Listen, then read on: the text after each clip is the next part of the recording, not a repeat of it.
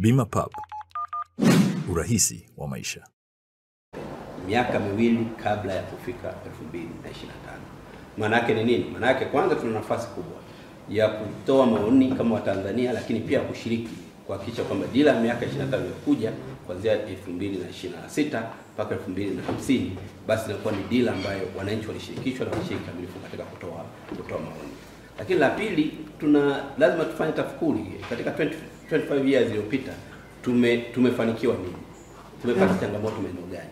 ili dira yetu itakayokuwa inatengenezwa basi iweze kujibu yale ambayo yanaonekana kama challenge kwenye jamii zetu au changamoto kwenye jamii, ili dira yetu itakayotengeneza sasa ielekee utekelezaji wa serikali serikali ielekezwe kwamba katika miaka 25 inayokuja tunataka jamii yetu, jamii ya Watanzania iende uelekeo huu, kwa sababu huo ndio uelekeo ambao unabeba una, prosperity au mafanikio eh, ya taifa letu. Sasa leo tumefanya kikao, nashukuru sana ushiriki mkubwa eh, wa viongozi ukisema kwa wilaya, wakurugenzi, viongozi wa dini, asasi na taasisi ambazo sio za kiserikali. Kwa hiyo wameshiriki kamilifu na wametoa maoni. Tumekumbushana kwanza tulikotoka kama taifa. Tumetoka kwenye eh, watu kuvaa nguo ambayo ina vilaka eh, unashona vilaka mara tatu mara nne mpaka nguo haieleweki ilikuwa ni rangi gani. Sasa vilaka vimegeuka kama fashion, maana yake watu sasa wanavaa wananunua nguo mpya, anaweka kilaka juu yake aonekane wa kisasa.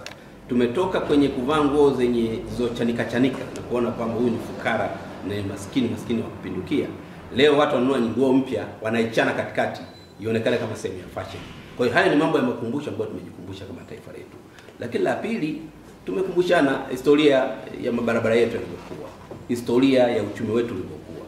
Uchumi wetu ulikuwa uwezi kusustain kujenga hata shule, ulikuwa huwezi kusustain au kusupport au ku, ku- kuhakikisha kwamba una nguvu ya, ku, ya kujenga shule nyingi kwa wakati mmoja. Wananchi wanakumbuka, tumesoma kwenye madarasa ya kujengwa kwa tope na, nyu, na, na, na bati ambao na, na, na, na uwezekaji wa nyasi. Tumetoka huko. Leo ukiona nyumba kama hizo za za, za vibanda vimewekewa nyasi, aidha ni sehemu ya utalii au ni sehemu ya kamati maalum au kamati eh, za ufundi ambazo zinafanya kazi zake au ni sehemu ya watu wanalinda kacha na utamaduni ambao wamekuwa wakiishi. Leo uh, huduma za afya kuwa karibu na wananchi, hiyo tumeshamaliza. Huduma za kuwa karibu na wananchi kwa maana ya sekta ya elimu, hiyo issue tumeshamaliza. Sasa bado issue za ubora, uboreshaji kwamba nikienda kwenye kutibiwa nahitaji kupimwa kipimo fulani, huduma zetu ziweze kutoa huduma hiyo. Nikienda kwenye kusoma nisome masomo ambayo ningeprefer kuyasoma, nisome kwa bora unaotakiwa ku- kuwepo.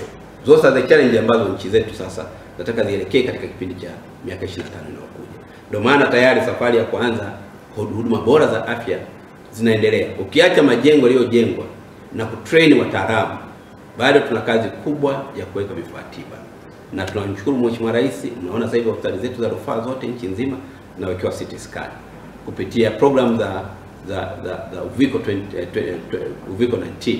Kwa hiyo tulinunua CT scan, Mheshimiwa Rais alileta fedha tukaweka kwenye kwenye maeneo kama yale, lakini zamani ilikuwa ni shida sana, yaani CT scan kuipata ni miujiza.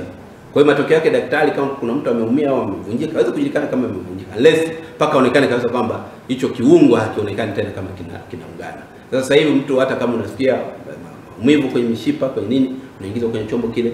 Sasa hizo huduma zile katika kipindi cha miaka 25 maana yake zinatakiwa zishuke ziende mpaka kwenye vituo vyetu vya afya, ili mwananchi asiendelee kusafiri umbali mrefu kutafuta huduma za kibingwa. Kwa hiyo those are the issues ambazo ambazo tunatoa.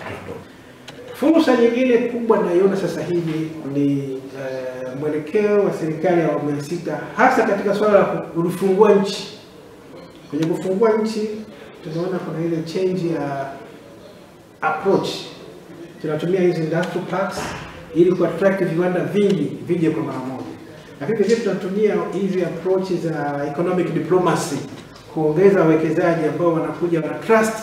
Unapokuwa na trust kubwa na serikali kwa maana ya mkuu wa nchi, vile vile unawapa assurance wale wawekezaji kwamba wako salama, na kweli wamekuja wengi katika kipindi hiki cha awamu ya sita kuliko kipindi chochote huko nyuma. Kwa mfano ukiangalia kinachoendelea sasa hivi Kibaha, kuna Kwala, eneo la Kwala ambapo kuna bandari kavu, kuna viwanda vingi vinajengwa eneo hilo, na uhakika ndani ya miaka mitatu ijayo Tanzania itakuwa mbali sana kwenye e, masuala ya viwanda. Fursa nyingine kubwa mimi naiona iko kwenye tehama, kuwa na digital economy. Tayari tuna mkongo wa taifa ambao umesambaa nchi nzima, upo kila mkoa, upo kila wilaya, upo kila kata, na sasa hizi unakwenda kwenye kivijiji, Hata kama upo kwenye mjiji, watu wengi sasa hivi wana simu hizi smartphones. Smartphones zinabadilisha kabisa aina ya uchumi tunaotengeneza. Kuna fursa lakini vile vile kuna kuna, kuna kuna opportunities na risks zake. Kwa hiyo vyote ni vitu ambavyo katika hiyo dira tunayotengeneza sasa hivi tuangalie. Kwa mfano, sasa hivi ile globalization of culture unaweza inaweza ikakuzidi nguvu, kwa sababu unaweza ukasema ninajiandaa hapa hawa vijana tuwafundishe culture za Kisukuma, yeye akiingia tu kwenye hizo hapo anakuta culture za Vietnam, culture za Uingereza. Kwa hiyo hizo hizo kwetu ni risks ambazo tuangalie tunaziminimize vipi, lakini nchi nyingi wameweza. Nilikuwa naangalia nchi nyingi ambao wamegundua hicho kitu wanachokifanya ni kuhakikisha kwamba na wenyewe zile information wanaziingiza sasa kwenye hizo social media. Kama anataka hizo culture, basi ziwepo, mtu akiangalia kwenye videos, kwenye hizo Facebook, kwenye nini, anaweza akapata zaidi ya vitu ambavyo anadhani vinaweza vikawa vinasaidia jamii, kuifundisha jamii kwa kutumia hizo uh, social media.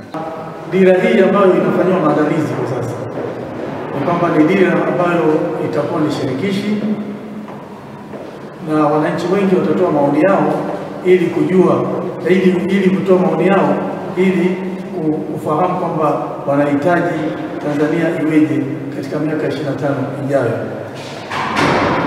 Katika kikao chetu tulichofanya tumepata maoni mbalimbali ya awali na tumefurahi sana. Michango ilikuwa ni mingi na inaonyesha kwamba wadau katika ngazi ya mkoa ambao tulikuwa nao katika kikao wameeleza vipaumbele vingi ambavyo wanahitaji vizingatiwe. Hivyo ni, pamoja na huduma za jamii, miundombinu, sayansi, teknolojia na ubunifu, masuala ya ujasiriamali na ushirikishwaji wa vijana katika maandalizi ya dira, kwa sababu hii dira mwisho wa siku itakuwa ni ya kwao wao vijana. Napenda sana kupata elimu, kuwa na elimu shirikishi kwa makundi maalum, jambo ya mchango, kwa asilimia chache. Tunapenda pia kuwa na miundombinu katika kila majengo, kila majengo, kila nyanja, kila mahali, na yameanza pia, lakini katika asilimia kama saba nane hivi hajafikia asilimia tunayohitaji, na katika uongozi. Ah, makundi maalum yamekuwa kusuluhu sana kugombea viti viti mbalimbali kwa upande wa siasa. Kwa ilani ya Chama cha Mapinduzi kwa chama kilichoko madarakani, basi pia dira hii kubadilisha pia kwamba watu wenye ulemavu wakaonekane pia katika kupata kupata kupata kupata kupata elimu ya, ya, ya siasa na kugombea na kuwa wanagombea wawachukulie kama watu wa kawaida kabisa na wa- wawape viti maalum, kwani viti maalum kama ni kwenye siasa wapate uongozi.